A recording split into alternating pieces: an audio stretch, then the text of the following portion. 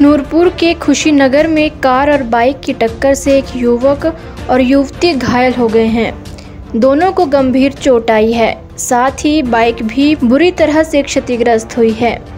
बता दें कि खुशीनगर चौक से करीब 50 मीटर दूरी पर टेम्पररी नंबर कार ने एक ट्रक को ओवरटेक किया।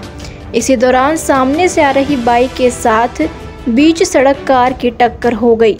बाइक सवार निखिल 20 वर्ष, निवासी ज्वालामुखी और मुस्कान 19 वर्ष, निवासी धर्मशाला घायल हो गए। इनमें से एक की टांग टूटी है, कार जोटा की बताई जा रही है।